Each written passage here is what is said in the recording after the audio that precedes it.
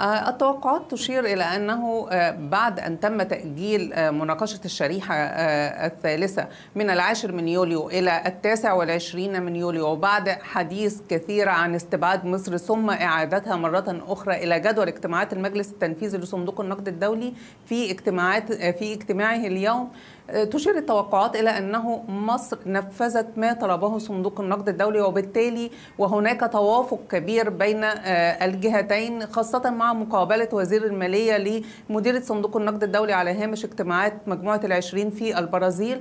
هناك توقعات قوية بأن يتم الموافقة على صرف الشريحة الثالثة لمصر بقيمة 820 مليون دولار. وهذا سيؤهل مصر للتقدم لطلب قرض من صندوق المرونة والاستدامة بقيمة مليار و200 مليون دولار.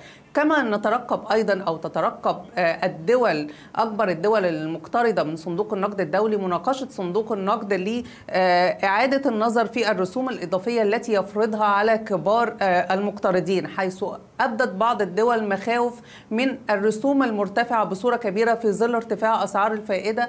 ولذلك نترقب أيضا ما سيتخذه صندوق النقد الدولي في هذا الشأن. خاصة أن من أكبر الدول المقترضة من الصندوق تأتي أوكرانيا والأرجنتين والثالثة تأتي مصر.